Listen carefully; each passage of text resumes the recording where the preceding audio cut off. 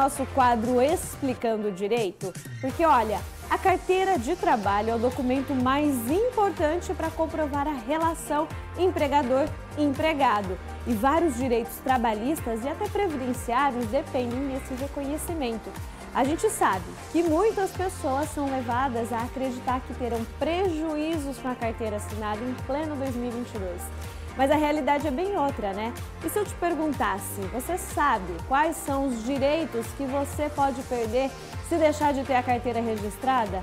Ou ainda, se você é um profissional autônomo e está na informalidade, tem ideia do quanto isso pode te prejudicar? É o que a gente responde agora com a advogada doutora Marina Medeiros no nosso quadro Explicando Direito. Então, por favor, roda a vinheta.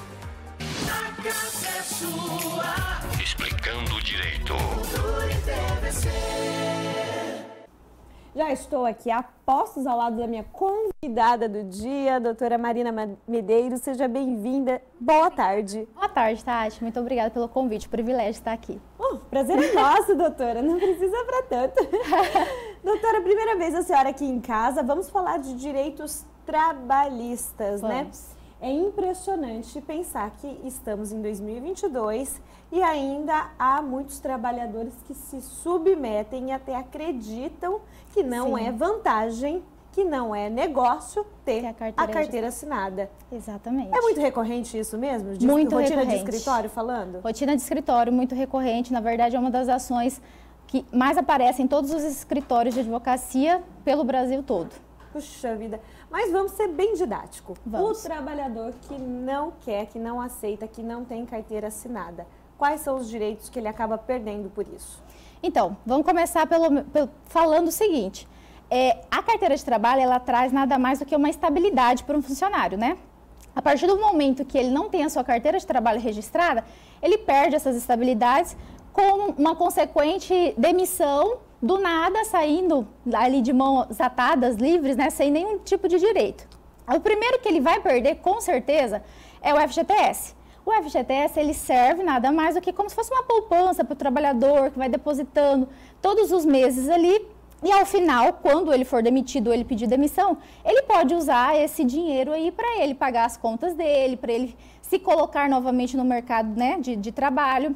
Com a consequente não registro na carteira de trabalho, um dos primeiros direitos que ele vai perder é esse FGTS, não vai ter esse recolhimento mensal. Uhum. O próximo é o INSS. O INSS também deriva do registro de carteira de trabalho. Então, quando o empregador não registra, o que, que acontece? Não há essa informação à Previdência, não há esse recolhimento, ele perde aí lá na frente a aposentadoria, ele perde, por exemplo, se ele se acidentar, um acidente de, de doença, um acidente de trabalho, então ele vai ter essas consequências lá na frente. O que mais que ele vai perder? Quando ele sai, ele ganha aí, se o, se o empregador mandar ele embora, ele ganharia aquela multa dos 40%. Na informalidade, sem carteira registrada, ele perde também essa multa. Essa multa, ela contribui, né, para que ele possa é, junto com as verbas rescisórias, somar mais um valor, junto com o FGTS dele, também somar mais esse valor para que ele consiga e se manter até ele conseguir um novo emprego. Então, já somos aí pelo menos três direitos do qual ele perde. Perde também reflexo. Vamos supor, se ele ganha hora extra, todas essas horas extras, ela gera uma base de cálculo, ela gera uma média em cima do salário dele, que consequentemente também geraria FGTS. Então o FGTS dele fica seco, né? Fica, fica, fica sem essas, esses reflexos. Ele pode até o padrão pagar uma hora extra para ele ali por fora, só que ele não está tendo nada em cima de sem nenhum tipo de recolhimento.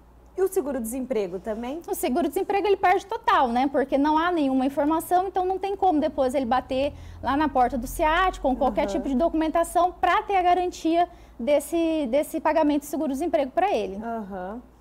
E quais são os direitos de quem não tem carteira assinada? Esse trabalhador tem algum direito? Tem, tem sim. Ao contrário do que muitos empregadores é, apresentam, né, e acham equivocadamente, eles acreditam assim: ah, eu não registrando um funcionário, eu vou ganhar algumas questões mais econômicas, como por exemplo, é, algumas garantias é, fiscais, eu vou sonegar, então vou, vai estar entrando dinheiro no meu caixa, Só que, na verdade, é o seguinte, se reconhecido o vínculo de emprego, esse trabalhador, a qualquer momento, ele pode ingressar com uma ação judicial ou até mesmo levar ao Ministério do Trabalho e ele vai conseguir todas as verbas dele.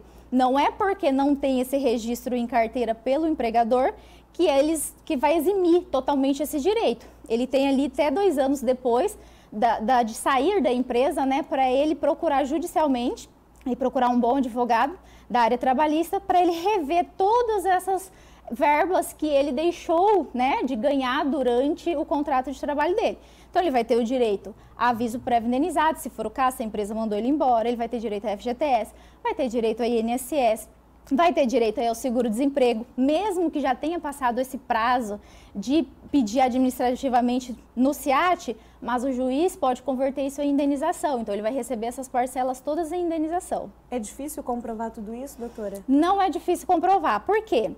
Quando você tem um vínculo de emprego, quando o trabalhador está lá todos os dias dentro da empresa, ele vai ter um uniforme da empresa, fotos, relatórios, testemunha que trabalha com ele. Uhum. Então é tranquilo para ele. Transação bancária. Transação bancária do pagamento, que muitas empresas, o que, que elas fazem? Não registram em carteira, mas deposita na conta do trabalhador o salário. Então, consequentemente, está lá acreditado CNPJ, né? Uhum. Ou mesmo a pessoa física. Então, é super tranquilo de comprovar, super fácil conseguir comprovar isso daí. É só mesmo ele reunir essa, essas provas, né, de que realmente aconteceu esse vínculo de emprego. O que, que, a lei diz sobre não estar com carteira assinada? É expressamente vedado, né? Todo empregador que ele quer contratar um empregado, que ele quer a mão de obra né, do trabalhador, que ele tem nos seus quadros de funcionários aí, né, um funcionário, ele precisa necessariamente registrar a carteira de trabalho do funcionário. Não há esta opção de não registrar. Ah, inclusive, a CLT, no artigo 47, fala de multa.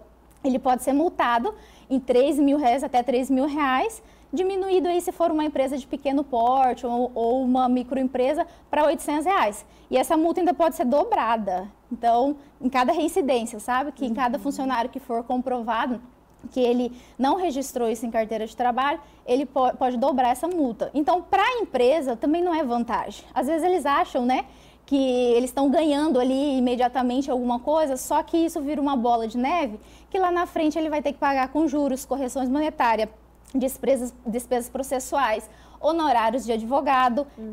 e, e geralmente tudo de uma vez. Então, compensa mais para a empresa realizar esse pagamento mensalmente, aos poucos, de cada funcionário, do que ela fazer essa sonegação e chegar lá na frente ela levar aí um processo e ter que desembolsar uma enorme quantia. Aí a senhora está imaginando uma situação de uma empresa maior, mais estruturada, mas a gente observa isso também nos pequenininhos, nos né? Por exemplo, o microempreendedor individual, o chamado MEI, pode ter até um, um funcionário. funcionário. Isso, exatamente. E aí o que, que pode ocorrer? É manter esse funcionário ali na informalidade, no bico. No bico. No, é, é, e pode também acabar se prejudicando. Sim, porque você pensa, se for uma empresa grande, até que às vezes a quantidade de, de ações judiciais não faz com que o seu faturamento seja prejudicado, Sim. né? Ou não, acabam não tendo essa consequência de quebrar a empresa. Sim. Mas uma empresa pequena, às vezes uma ação trabalhista, ela quebra a empresa totalmente. Sim, ainda que a gente está falando aí na informalidade, né, dos MEIs, as consequências de se trabalhar na informalidade, aquele autônomo que não se formalizou, aquele trabalhador que está ali se prestando a trabalhar para uma empresa pequena ou grande, mas está na informalidade também. As consequências, geralmente a gente só para para pensar nas consequências entre empregado e empregador. Só que na realidade tem consequência para âmbito inteiro. Tem consequência para o governo, tem consequência para a própria economia nossa. Cada vez que as pessoas começam a trabalhar na informalidade, ora não são recolhidos os seus direitos, essas contribuições não são repassadas e não alimenta não só o fisco, mas também como a nossa economia. Recente a gente viu que o que, que acontece? Com a pandemia, nosso país teve, aquela, teve crise né, econômica.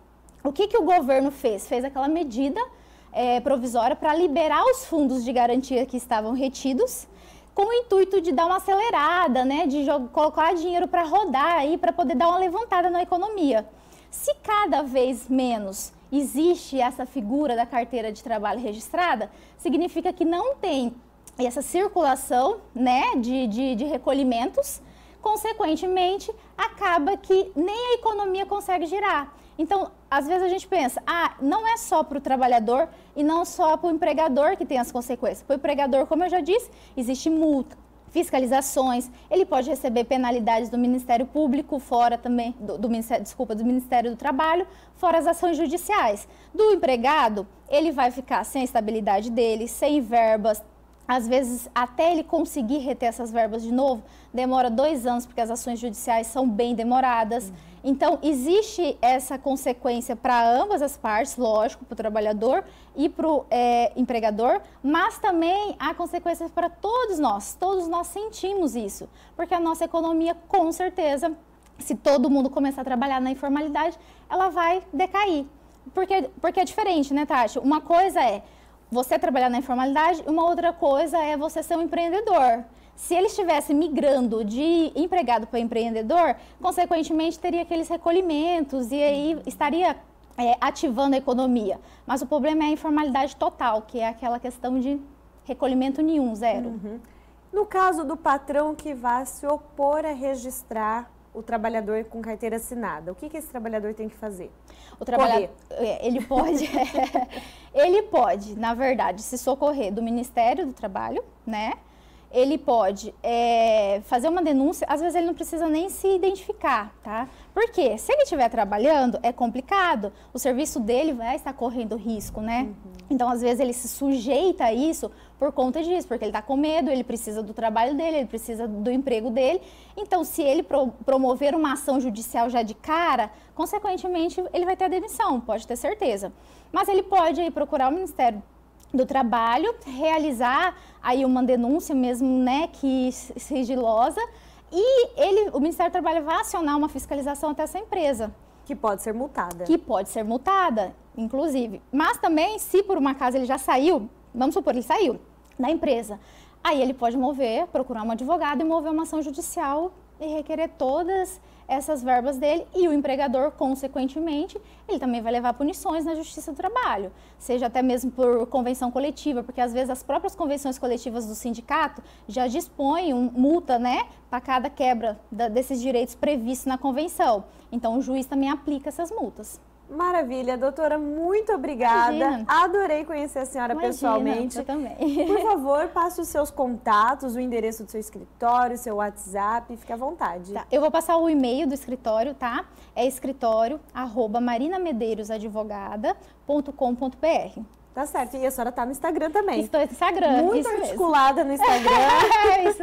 Advogada Marina Medeiros no Instagram. Tá certo, doutora. Muito obrigada. Imagina, viu? eu que agradeço. Muito Vamos obrigada. fazer uma pausa bem rapidinha. Na volta tem amiga Mari Verganta, que hoje é dia de hashtag TBT. Já postou seu TBT hoje? Eu já postei, hein? Fica por aí. O intervalo é bem rapidinho.